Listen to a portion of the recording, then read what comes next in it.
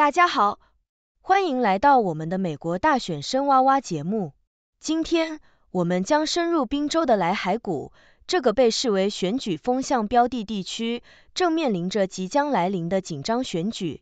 当地的民主党人对他们的基层运动充满信心，并且州参议员丽莎·博斯科拉和阿伦敦市市长马特·图尔克在专访中分享了他们的见解。博斯科拉提到，这里的选举结果对整个州有深远的影响。阿伦敦市的候选人图尔克则强调了当地民众对副总统哈里斯的支持。他们的观察指出，选民们的关注焦点集中在经济、住房和移民等议题上，对特朗普的言辞感到失望。随着哈里斯重返宾州，并且与一些拒绝特朗普的共和党人共同出现，这场选举的竞争变得越发激烈。特朗普则在努力吸引拉丁裔选民的同时，继续抨击移民政策。这场选举不仅是对当前政治形势的反应，更是关乎未来方向的选择。请大家继续收看详细内容。在宾夕法尼亚州的莱海谷，选举的热潮如同钢铁熔炉中的烈火般不断升温。这片曾以工业和劳动文化着称的土地，如今成为美国政治竞技场的关键一环。不同的政治力量在这里交织。碰撞，一如往日的烟囱在夕阳下的剪影。民主党在这片土地上展开了如火如荼的基层运动，致力于在这个被誉为选举风向标的地区奠定基础，并影响整个宾州的选举走向。州参议员丽莎·博斯科拉在这个地区耕耘多年，她以务实的政治策略赢得了广泛的支持。福克斯新闻曾报道，博斯科拉指出，二零一六年特朗普在北安普顿县的胜利与二零二零年的失利形成鲜明对比。莱海县因阿伦敦的影响，通常呈现蓝色倾向，但农村地区则保有强烈的保守色彩。阿伦敦市市长马特·图尔克热情地谈论着这座城市的多元文化背景。他在墨西哥城的一次全球市长会议上发言，吸引了不少外国贵宾对阿伦敦及其在全国选举中潜在影响的关注。图尔克表示：“我来自宾州最摇摆的选区，阿伦敦人普遍支持哈里斯。他每周亲自造访选民，从中得知居民最关心的议题是商品价格、住房和就业机会。阿伦敦的历史如同一部时代的画卷。”这里曾经是美国最古老的社区乐队的故乡，工业时代的烟囱林立。然而，随着贝塞斯达钢铁公司的关闭，这里经历了一段经济衰退的低谷期。然而，随着时代的变迁，曾经的工业遗址被现代化的赌场和娱乐综合体所替代，城市重获新生。博斯科拉在福克斯新闻的访谈中提到，民主党的基层运动在当地从不间断。选民们关心的问题多样，从财产税、移民到堕胎问题，无一不在讨论之中。他指出，莱海谷的温和派选民往往对极端立场不感兴趣，这使得选举竞争异常激烈。而在宾夕法尼亚州的另一侧，民主党候选人卡马拉·哈里斯也在加紧脚步。他在宾州展开竞选，这是他本周第二次造访这个关键州。据美联社报道，哈里斯预计在巴克斯县的演讲中聚焦捍卫宪法与爱国主义的议题，并由一群支持他的共和党官员陪同。这些人对特朗普的领导表示不满。哈里斯的竞选策略之一是激励黑人男性选民，而特朗普则试图吸引男性选民，尤其是拉丁裔群体。特朗普在迈阿密的一场西班牙语电视网 Univision 活动中，继续强调他对移民的严厉立场，尽管这有时与他对拉丁裔选民的拉拢策略相矛盾。正如多伦多星报所述，这场选举是对未来方向的选择。哈里斯和特朗普都在全力以赴，试图获得每位选民的支持。哈里斯希望在密歇根、宾夕法尼亚和威斯康星这三个关键州获胜，以迈向两百七十票的选举人团门槛。随着选举日的临近，莱海谷的政治氛围变得更加紧张。图尔克的评论引发了特朗普宾州竞选团队的回应，强调选民渴望回到特朗普政府时期的繁荣稳定。这场选举不仅是对当前政治形势的反应，更是对未来美国方向的抉择。来海谷的每一票都可能成为决定性的一步。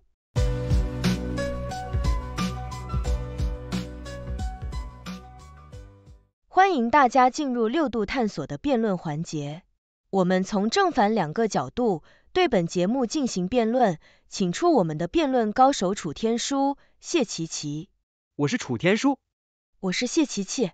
从来海谷的情况来看，民主党在这样一个多元文化的社区进行基层运动，正是他们展现包容性和务实性的体现。这里的选民关心住房、就业等问题，明显能看出民主党在政策上的针对性和灵活性。这样的策略不仅能吸引更多的独立选民，也能在长期内巩固民主党的基础。可以说，阿伦敦以及整个莱海谷的多元文化背景正是民主党的强项。虽然莱海谷的多元文化背景对民主党有潜在的优势，但不能忽视的是，当地依然有稳定的保守选民基础。共和党在特朗普的领导下，已经展示出在经济和税务政策上的强势。这些保守派选民看重的是经济稳定和低税政策，而非民主党的进步主义政策。此外，特朗普的支持者在这个地区仍有强大的影响力，不可小觑。不过，看看阿伦敦市长图尔克的基层运动，明显能够看到民主党在这个多元文化城市内的成功。这不仅仅是关于吸引选票，更是建立一个可持续发展的政治生态。他们的政策针对性明显比共和党更能解决当地居民的实际需求。从长远来看，即便保守选民有影响力，但随着社会和文化的变化，民主党更能适应这些变迁。然而，对于那些因经济困境而转向保守选民的地方，特朗普的强势经济政策和对工业的支持仍然是一个巨大的吸引力。看看特朗普在二零一六年是如何赢得北 Ampton 县的。他的经济增长承诺对那些希望看到具体改变的选民来说是一个有力的推动。而且，阿伦敦的保守派选民也不会因为一些政策上的让步就改变立场，这是共和党仍然可以利用的契机。确实，特朗普的经济政策在某些方面吸引了选民，但不能忽视的是这种经济政策的短视性。有时候，他们只是治标不治本，缺乏长期可持续发展的考量。相比之下，民主党的政策更注重社会福利和长期的经济稳定，这对于那些关心未来和子孙后代的选民来说，无疑更有吸引力。而随着时间的推移，选民们会更倾向于支持能够真正带来长期利益的党派。但是，对于那些立即需要改变的人来说，特朗普的政策无疑更能直接展现成果。无论是税务减免还是对企业的支持，这些都是选民能够切实感受到的好处。当地的选民，特别是那些保守派选民，更愿意支持能够立刻带来利益的政策。因此，无论从短期利益还是长期影响来看，两党在来海谷的竞争都将持续激烈。我是评委何理，我想对两位精彩的辩论做出评论。楚天舒和谢琪琪在这场辩论中各自表达了对民主党和共和党在莱海谷这一多元文化社区的看法，展现了两种截然不同的政治观点。楚天舒强调民主党在基层运动中的包容性和务实性，认为该党的政策更能针对当地选民的实际需求，并且随着社会和文化变迁，民主党将更具适应性。他指出。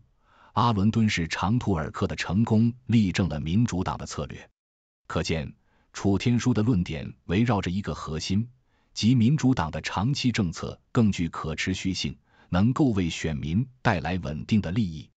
然而，谢琪琪则反驳了楚天舒的观点，强调保守派选民的存在及其对经济稳定的重视。他指出，特朗普所主张的强势经济政策能够迅速见效。这对于那些面临经济困境的选民来说是巨大的吸引力。他的立论有效地指出了当前选民在选择政党时的实际需求，即希望能够看到眼前的改变，而非长期的理想。在这场辩论中，楚天舒的理想主义与谢奇奇的现实主义形成了强烈对比。楚天舒的论述纵然有理想和前瞻性，但缺乏对当前选民情绪的敏感把握；而谢奇奇则深刻理解了选民的急迫需求。虽然他的观点在某种程度上忽视了长期政策的重要性。总结来说，这场辩论凸显了政治竞争中两个主要的思想流派。一方面是民主党追求的包容性与长期利益，另一方面是共和党所强调的即时经济成果。两位辩手的交锋，不仅反映了当前美国政治的分歧，也引发了我们对未来选民选择的思考。在这样一个多元和变迁的社会中，无论是短期利益还是长期政策，都值得我们深入探讨和关注。